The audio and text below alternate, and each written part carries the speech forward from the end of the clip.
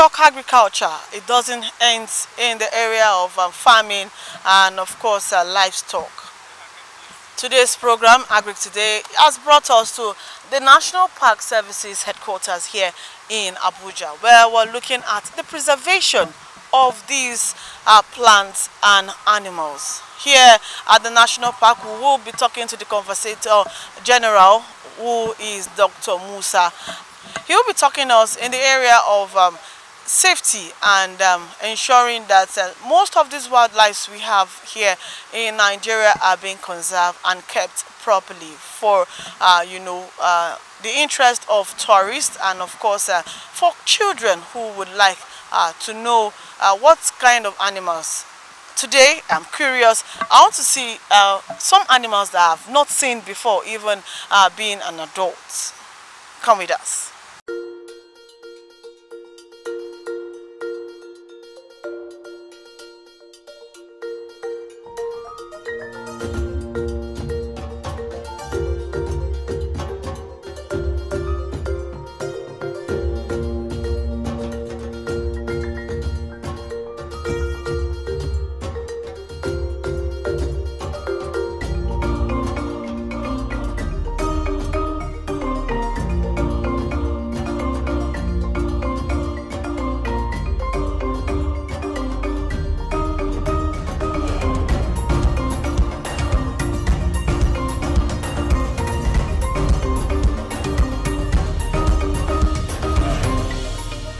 Yes, the National Park Service is an advanced form of uh, protected area management.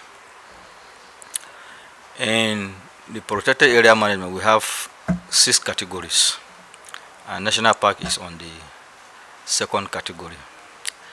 The concept has been in Nigeria for almost three and a half decades, and uh, ask anybody national park he will tell you are you referring to the Jabi Motor Park? Are you referring to any garage? This is because maybe for some for the past there hasn't been much uh, publicity. The my predecessors maybe were trying to make sure that they put solid foundation after which they will now start the propaganda of trying to draw the attention of Nigerians to what a national park entails. The national park is different from a forest reserve and a game reserve. The only difference is the management authority. In the case of the national park, the highest legal competent authority of a country, that is the federal government, manages a national park the world over, whether in the US, whether in Asia, whether in any part of Africa. It is the legal competent authority of the country that manages a national park. Whereas game and forest reserves are the uh, entities that are managed by subnational government. So when I say subnational, it could be local government, it could be state. Yes. So that is why places like the famous Yankari Game Reserve is well known because Yankari had the buying of the people. The people were so proud of it and they were promoting it. So what a what a protected area does is what a national park does. One, you have to make sure that the plants and animals therein are secured. When they are secured, you now try to bring in visitors and tourists so that they can view what you are doing, what resources you have so it is the viewing of these resources that has putting countries like Kenya, Tanzania, Zimbabwe above other countries in Africa. Because that happens to be their major economic uh, activity and in fact it contributes to their GDP. Unlike what obtains in Nigeria, if you look at the contribution of wildlife, the contribution of national park to the GDP, unless you add up that to the contribution of trade and tourism, you hardly get much about the contribution of uh, national parks to the GDP. Then the third aspect of uh, the management we are doing is for research purposes. Because we have a conglomeration of plants, we have a conglomeration of different animals, and now that the country is talking about uh, Team CAM, that is uh, alternative uh, traditional medicine, comp complementary and traditional medicine. So you see that the management of these plants and animal resources is vital if this complementary traditional medicine should actually be promoted because there is no plant that does not have an economic or medicinal value. There is no plant unless research has not discovered it. And there's no animal that has no traditional or medicinal value unless research has not discovered it. You think of so many animal parts. Is it the skin, the fur of or the hair, or you look at is it the fat and oil, and uh, of course fat and oil for animals like snakes, you know, are used to they are used by these people who join bones to heal fractures and the rest of them and so many. So then the national parks are also centers where science education is imparted into the youths. Daily we have students coming here. Daily we have students come undertaking their research projects in the national parks. The essence of the students coming here is because an aspect of their curriculum happens to be maybe ecological studies. So, and uh, there's uh, with the development in the country, urban development, which has increased rural migration, coupled with this insecurity, which has also escalated migration to maybe urban centers. So we realize that there's much encroachment on forest areas, game reserves, and even national parks. So there's therefore not much for any student to view outside the national parks and game reserves. So in a nutshell, this is what we do in, in the national park. We employ different strategies in managing a national park. One or one of the foremost strategy is uh, monitoring the area designated as national park. To do this, we have officers we call rangers that are trained in basic science and even art because national park is both an art and a science so these rangers are involved in patrol just like the police patrol like the custom patrol.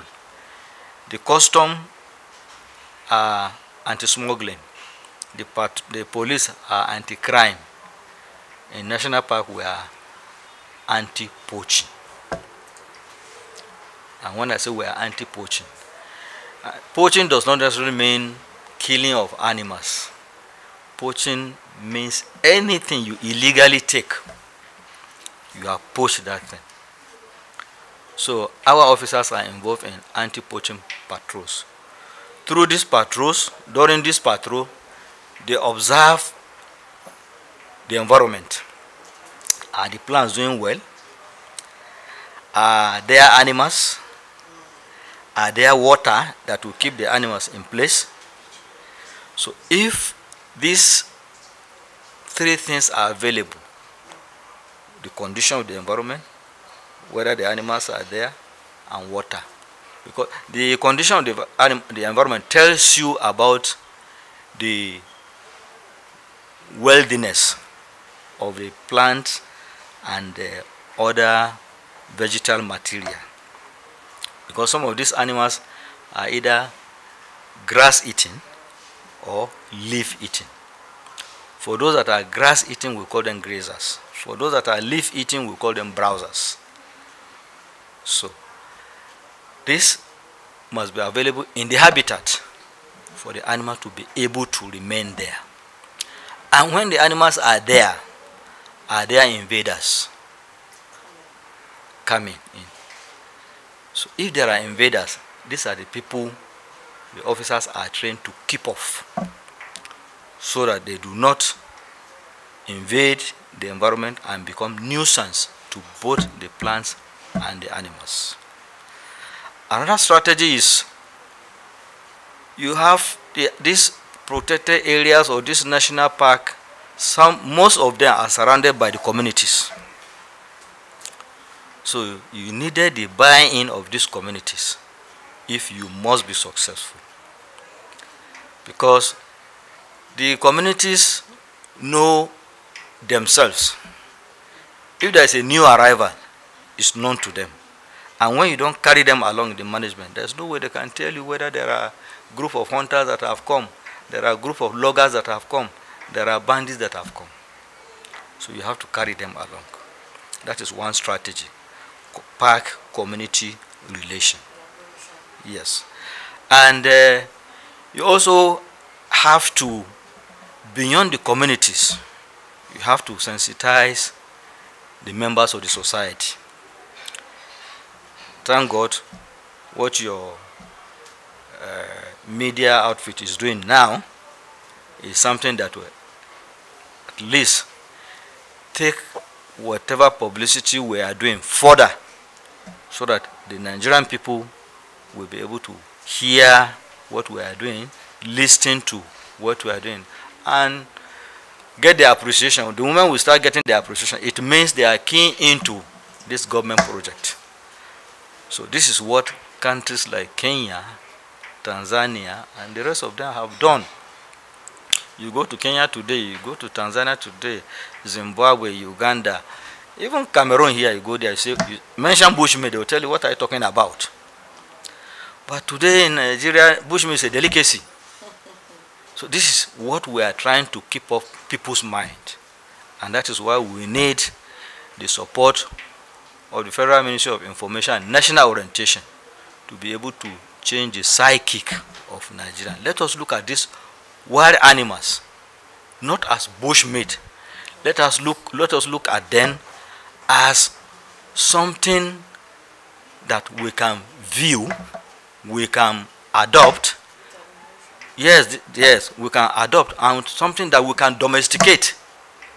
Because game ranching is allowed you are allowed to come and take a pair of maybe uh, bushbuck, get a very good uh, uh, environment for them behind your houses, behind your house.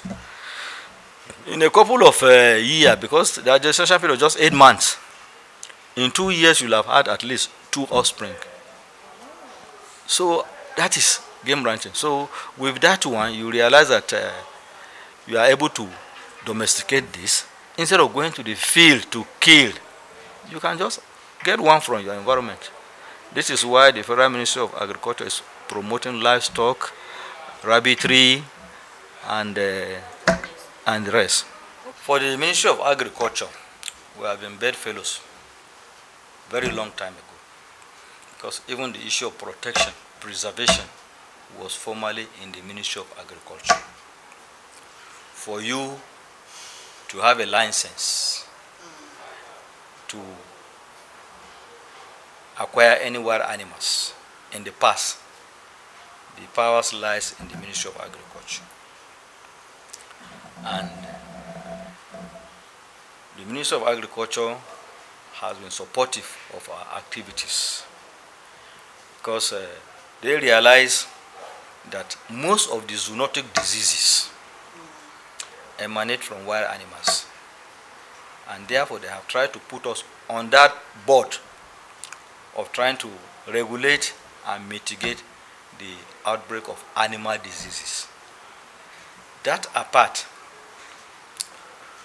we have had instances where we have to seek for the assistance of the Ministry of Environment for communities that are surrounding our Ministry of uh, Agriculture, for communities that are surrounding our park areas, in the area of sharing or giving them farming inputs.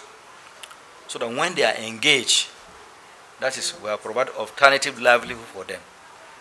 They will be able to disengage from invading the park and even poaching or illegally taking anything.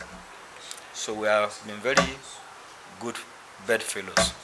For the ministry, for the ARCN, Agri Research Council, this is a new ground we have to break. And uh, I intend to visit uh, the, yes, the director or executive secretary so that at least, we, like I said, we break new grounds.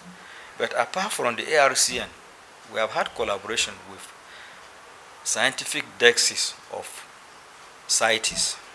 When I say CITES, that is the, the convention in Nigeria signed, the convention in illegal trade uh, in fauna and flora species, like fisheries.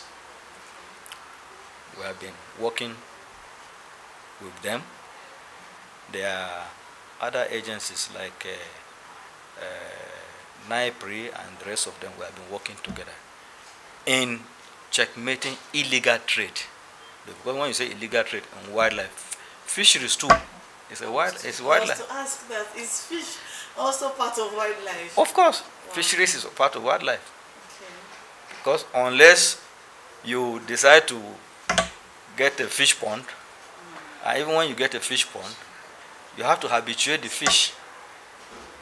You have to habituate it. If you don't habituate it, even when you put your feed, it will not come. But with habituation, the, the feed is getting used to hand feeding. Now knows that it is being hand feed, it is being hand fed. So if you don't do that, if you don't habituate it, it will decide to start going. There are algae and the rest of them in the, in the pond. It can survive on them. This is a very, very vital question. And uh, as far as security is concerned in national parks, this is a thing we are contending with. You cannot run away from it. Because the adjacent forest reserves have been no man's land. There's no national park does not, that does not share boundary with a forest reserve or a game reserve in this country.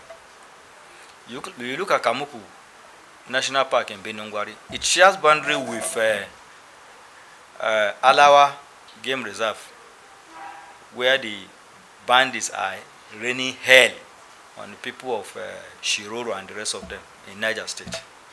It shares boundary with Kuyambana in Zamfara State.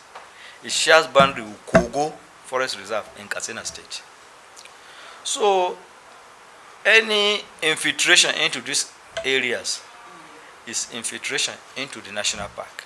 That is why we say it is a thing we are contending with. And thank God, the, gov- the government, our interagency collaboration and synergy is actually helping us to at least to contend very well with the situation as we have not allowed them to completely take over and make it a kingdom for themselves.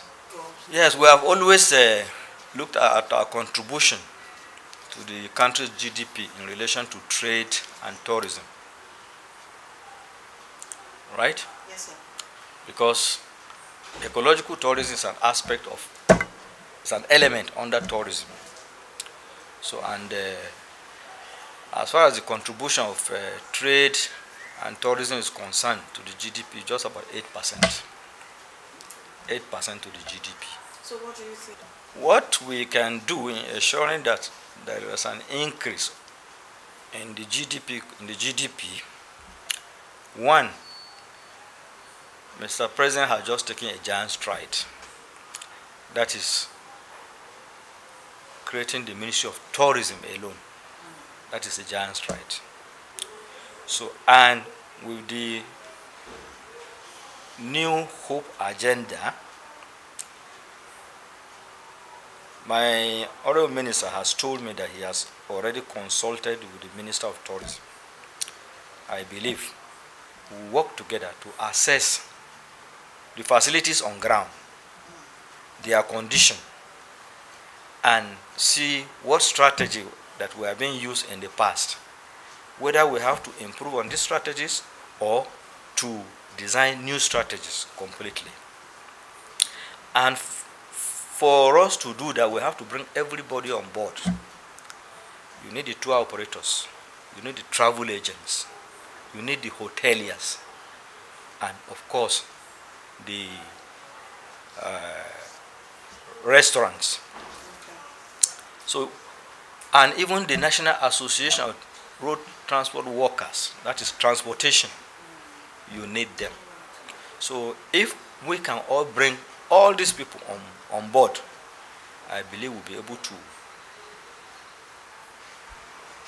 carve a new way or champion a new course for tourism development in this country. Because okay, so, um, as a stand, is it is the park open for general just like we have um, other parks? The national parks are open, okay. 247 for visitation, except for now, we have suspended activities in Kamuku National Park, Birnin Gwari. We have also suspended visitors activities. When I say activities, visitors and tourist activities in Kamuku National Park, Benungwari, Kainji Lake National Park, in and Chad Basin National Park between Maiduguri and uh, between Yobe and uh, Borno states because of the security situations in these places. We do not want to risk the life of any visitor or tourist. So we have so temporarily suspended visitors and tourist activities in this area. But for other activities like research and uh, other forms of uh, cultural activities, because some communities still have their goddess and goddesses in these areas. We still allow them to, to come in and practice. Yeah. Okay, well, so just an enlightenment. Yes, thank you very much. For you to learn that fish is a wildlife, uh, it appears new to you. Maybe do I ask you, have you ever seen fish apart from this modern concept of uh, fish farming bringing in fish by uh, bringing in fishes into fish ponds. Will you ever assume that you can just go to river and catch a fish? It's not possible. So anything no anything that you do not manage you, using human like uh, anything that is not hand fed Eh? Any animal that is not hand fed, any animal that is not managed uh, by the hand of human being is wildlife. That there is no national park that does not share boundary with either a forest reserve or a game reserve. And you know for some time this forest or game reserve have been considered as no man's land they have been considered as no man's land. So unless we get the cooperation of the states and local government to be able to rejuvenate the activities of this forest and game reserve, there is no way national park will not continue to contend with insecurity. So we need the buy-in of the state governors, the chairman of the local government, to be able to at least scale up their activities, their security, their protection activities in the forest and game reserve so that whenever any invader comes in there, he finds a guard there or guards that will repel him. When that is done, the national park What you have said is by extension, because this traditional use of Malaman Gadi is vested in the traditional rulers. So it is by way of uh, maybe constitutional review, um, review of uh, edicts that have removed that function from the traditional institution to the, either the state or local government ministries of agriculture or ministries of environment. So, and in the ministries of environment, it is expected of them to employ their own game guards. So, a synergy between the Malamendaji and the game or forest guard, in fact, will help revive what we are looking towards to have sanity, at least security in these forests and game reserves. So I actually support the idea of bringing in, going back to this traditional concept of using Malamendaji because they are so versatile, they have versatile knowledge about the area and they can sit down and tell you what could be happening in a particular area. Whether it is hunting, they know the hunting plots, they know the grazing plots. Eh? And they know the free zones in those areas. So I quite support that idea. Thank you very much.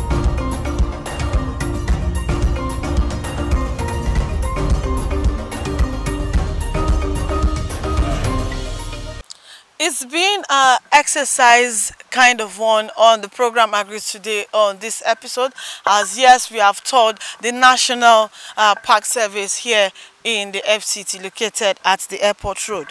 We have gone round, we've seen animals and yes we have been told uh, uh, what the National Park Service does and how it affects uh, the nation. Today I learned that um, even fish is being called a wild animal. Hence, if you are having fish, you should treat them uh, very properly. That's all wrap it up on the program Agri Today. Join us again, same time, same station next week. From the National Park Service here in Abuja, I am Khadija Oluwatoyin. I'm saying bye for now.